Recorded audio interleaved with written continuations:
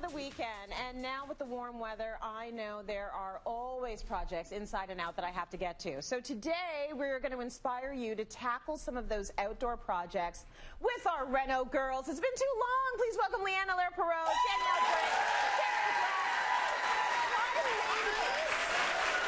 It's almost like we picked you for your. Like they're just the perfect little trio there. We love working together. We love Yes. working together. And believe it or not, they did not text each other last night, but they're perfectly coordinated. Like a little bit of animal, a little bit of denim, a little bit of black. I love it. So you worked very hard on your exteriors, and I could sort of match the exterior with the designer um, because I know you all so well. But they're all very different. So let's start, Leanne, with your exterior. Yes. It's beautiful. You got a punch of color, and of course that nod to animal print. Can you tell? You can't, you'd never be able to tell which one's mine. I really wanted to show off my personality Yes. with this space and to hopefully encourage people to think about their homes as an extension not only of their inside but of their personality as well. Yes. It's putting your face forward to the street about who mm-hmm. lives behind those doors. And speaking of the door, this happens to be my favorite color, a beautiful, beautiful. coral. It's my happy hue. And it's funny when I talk to people and I ask them if they have that color in their house, their happy hue, most of the time they say no. so why not? Yeah. Not only put it inside your house, but have it that statement piece Yes. on the exterior. Absolutely. Now, my facade is actually stucco. Mm-hmm. And there's a point with this that where I've kept the stucco very neutral. You don't have the option with stucco to have a lot of color and texture and brick or siding. But you also don't want to go too crazy with paint and be that purple house on the streets Yeah. and paint everything flat. So with the stucco, it's a really neutral, nice color, but the key here is accentuating then your architectural features like the window frame and even the door. And I want to point out, I've actually added a back band onto the traditional door frame Okay. to beef it up with a header. So to make that focal point of that front door really pop, not only Mm-hmm. does color work, but beefing out the trim around as well is a really inexpensive weekend project Yes. that makes a huge dramatic difference. You can take a stock big box door and make it look like a million bucks with the right trim. The bigger and more grand that door is, it makes such a statement. Absolutely. It really does. So what a great way to do it. And I just want to point out my rug. DIY. Because this is a DIY. I picked So up the. Sisal rug from IKEA and just used some leftover exterior paint to paint out my little leopard Stencil it? print. That's so cute. Yes, keep it cheerful. Good work. Greenery. Speaking of greenery, we're going to move down and see this next beautiful exterior done by Danielle. Um, I mean, I just love, I love, I love all of the green you're seeing. Let's talk about what you did um, with the with your exterior. What did you decide to use? Well, one of the biggest trends in colors right now for exteriors is black. Yes. And this material is actually charred wood. It's charred cedar and it blackens the wood, so it's a very natural reaction.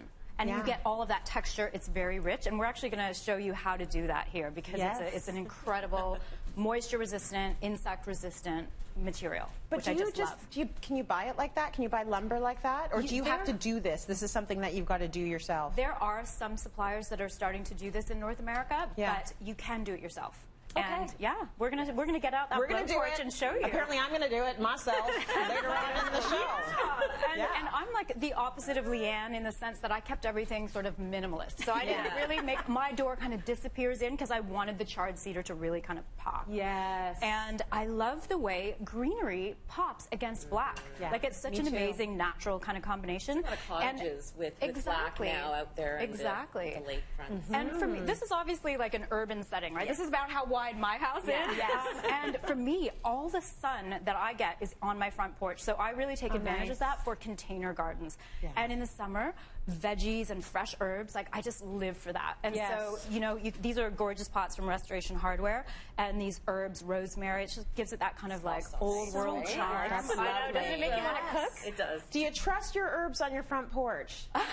like, is this a draw for the creatures? Do do they hang out there? Are they waiting for Or you for when me, you I'd be for coming work? out next door and snipping a little. I'd do that. Your neighbors. You gotta watch your neighbors. That's kinda cute, though. These herbs are okay. They're very fragrant. I don't find that animals are drawn to that. But Okay. if you're gonna go that extra sort of level and Yes. do some um, some salad greens, a whole garden there. veggies, you can. This is from Lee Valley. It's called a Vegepod. Okay. And this is intense. So it's it's got this incredible irrigation system. So this is a cover. Yeah. It's got a built-in irrigation system. You just hook your hose up to. Oh. This protects it from the critters and um, and from the sun as well because you want to get lots of sun, but you don't want to burn them in the hot, hot heat. So it's Got incredible it. because there's a reservoir in the bottom of this. So this is something I love that like urban garden thing. I like that you can have the whole thing, like your whole garden, just contained on your front porch. That's Exactly. beautiful. And then you've got that covered when you need it. Okay, let's move down a little bit more because we've got this beautiful, light, bright exterior, which I knew was ah, Sharon's. Yeah, you did a good job. You Yeah, I, just, I, know you, I know you well. So um, this is lovely um, as well in a different way. in a different way. I mean, I wanted to bring a bit of a West Coast vibe Yeah. because I love the West Coast, but I don't live there. So I've got my traditional urban brick. But I thought by bringing the lighter colors, um, sort of a contemporary feel. But also hits of black because we were talking. All of us use black. We didn't plan it, although we, knew about the chard. Yeah. so we figured. Yes. But I think we the quickest thing you can do to add a modern feel to the front of your house is by painting out the windows Right. black. So I wanted to show how you can actually do that, but still have a creamy colored trim. So I Mm-hmm. painted out the brick with pashmina, went with a really pretty maritime white, so it's not so black and white. stark. So exactly. And I think that what I love about the West Coast is that natural vibe with a lot of the architecture, and there's always black and white, but there's always an element of wood and something that really Yes, warms it up. So because I have my tiny little, you know, downtown uh, facade, I didn't put a lot of wood on the exterior, but I thought bringing it into things like furniture. And my dream would be to have a porch that I could sit out. I go to my neighbor's house all the time and sit on theirs. Yes. But I would love to have one. So this is a fantastic um, club chair from ARD Outdoor. And the thing I love about how exterior furniture feels so comfortable and it feels very interior It does. now. It looks like a living room chair. Doesn't it? Like I would Yes. absolutely put that in my house. And then it's all about texture too when you have a natural color palette. So hits of black, hits of um, hits of different texture in the rug. Even if you're covering up a concrete porch, Yes. a rug, great thing to do. Softens it up immediately. Yeah. What's the color And of the door? Mm. This is Gloucester sage. It's one of my favorite greens. A lot of Warm. gray, very very warm. So Yeah. that's a, the vibe that I wanted was something very warm and cozy. Very nice. And you know you can come and sit on my porch anytime, right? I have. and you have. Many, many hours and many, many liters of wine. Yes. Anytime, honey. Summer's com- coming. Coming up. Uh, well, Danielle decided it was time to tackle her exterior, so let's have a look at that. Well, we're always really good about encouraging the viewers to roll up their sleeves, get in there, and tackle those weekend projects. And I've got a weekend project that I've been working on for about three years. I need to prep and maintain and paint the wood on the front of my house. That's a big project. And because it's so big, I've got Sharon here to help me out. Well, that's what friends are for. Yay! I'd like to do a stain on the floor as opposed to a paint.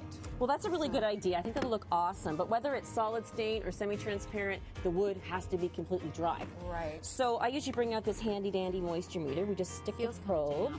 Yeah, it does, doesn't it? Oh, and look at that. Definitely too damp. Oh, darn, I was really hoping I'd be sanding today. I'm sure you were. Maybe you'll find something else to do. It's okay, I got a lot of work to do because I want to do all of the trim in the entire house. you might as well do the whole facade, right? so including the aluminum, is that fine? Okay, no, that's fine. The only thing with paint is you want to make sure that it's a good five degrees consistently. When you're using Aura, five degrees is perfect through the night. Like through the all day, through the night, so not a all through high of night. five. No, see, I think you probably have to wait another week or so. We'll see how the weather goes. But in the meantime, I think you've got lots of sanding to do to get this deck prepped.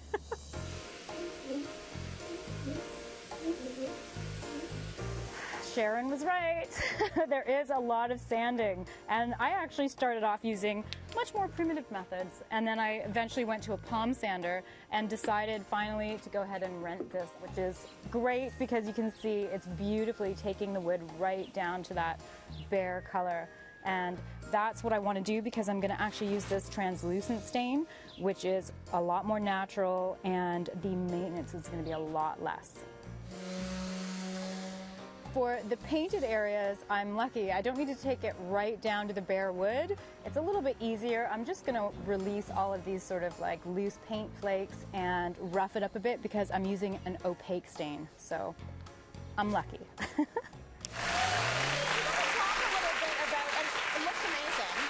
Um, that's the before. We have to to talk a little bit about the, the, the right temperature because we've all been talking about how you know it's been very inclement, and I, I don't want to plant flowers until I know Exactly. there's going to be no snow and no frost warnings, and true. also it's got to be dry. Yes. So That's critical. How do we know, Sharon? How can we gauge that the you know the wood is dry enough that we can start doing all of our projects and our staining Yes, and well, you want to make sure that the weather is it, for painting, staining, at least five degrees, and that means consistently over the evening as well. So Right. over the, overnight. But the water is really paint and stain's worst enemy. So um, I honestly, I've had this little moisture meter for around 10 years. There's much more cool digital ones that you can get Yeah. now, but I still carry this around, and Danielle and I Hold that up for us, experimented. Just hold that up, and we'll get a shot of it. But how do you actually use that? Well, you want to make sure that the wood moisture content, is, sorry, the moisture content in the wood is less than 15%. So you basically just use a simple probe. It's like your meat You put the probe right in the wood, right? yes, exactly. You put it in, Oh. and it goes zing. It goes. If it goes into the red, you know, uh oh, this is not not ready. How Let's just wet. see. Oh, Lee, I have no you're ready. for the winter. You're ready to stain. I need to be watered. Okay. So critical. So get a moisture meter. Yes, make Is what sure the called? wood's dry before you sand it. And Yes. Danielle is now an expert And with this concrete, sander. too. Oh, And concrete, too? It needs to be sure. dry. Yeah. Any of your Really? exterior. Yeah. But you can't put a probe in the concrete. No, but you can let it sit pretty close to the concrete, Yeah. and that Okay. actually gives you a good enough All right. reading. Yeah. So. Okay, so then this big guy, because I felt bad for you. Oh my gosh. You started with what? The little sheets? Well, Like, I can do and then you had the little thing. I had my palm sander. It's really Yeah. like it's taken me a, like you know a long way. But at some point, Sharon was like, "Listen, you can rent this on-floor system from a Benjamin Moore dealer, which I did from Dixie That's Paint. amazing. And they they literally they came, they delivered it with this huge vacuum attached to it, so I didn't even make a huge mess. and this thing, like, it saved Yeah. me days. You look honestly. like you were just vacuuming. Totally. It was so Right. calm. effortless. and so it's fantastic because I had to get right down for the stain that I wanted to put it on it because I had a dark stain first, and uh, yeah, I got friends in the right places. You got the hookup. Well, I, now I need to see the final, right? Yes. Very excited to see this. Let's see how it all turned out. I really love how my exterior is coming along. And I say coming because it is a work in process. It is still happening. We managed to get the main level done, but the rest of the house, what can I say? We didn't get to it because of the weather. Whenever you're working with an exterior project, you're at the mercy of weather. We did manage to get the deck stained, and I've used Ashland slate. It's a semi-transparent, and I love it because it's it's going to camouflage that wear and tear that I find that we get a lot of because we're an uncovered porch. And I took that gray and used it throughout for all of the railings, all of the trim. That's Benjamin Moore wrought iron. And I really wanted to crispen and tighten the color palette here because with old brick, you know, I have a lot of kind of character already. I wanted everything else to feel a little bit slicker. Except, of course, for the door, which I've done in gossamer blue, and I patinaed it. I did a bit of an art project here, and I really wanted to pull from the patinaed bronze on my door handle. And I think it just really makes me happy. It's such a spring-like color. It's like I'm willing the warm weather to happen.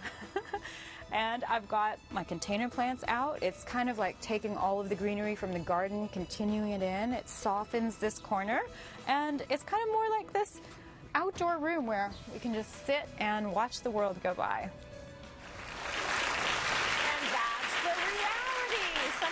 Mother Nature doesn't work on our timeline, right? It's touch and go, especially in the spring. Yes, so you couldn't paint all of it. We're going to follow up. Uh, we're going to see when the whole exterior is complete. We are going to come back, uh, but we do love the new look. It's gorgeous. We're going to post the completed makeover on our website as well once the weather cooperates. We'll go back and shoot it. Huge thank you to Sheridan Nurseries for all this amazing greenery, and we've got more of the Reno Girls coming up.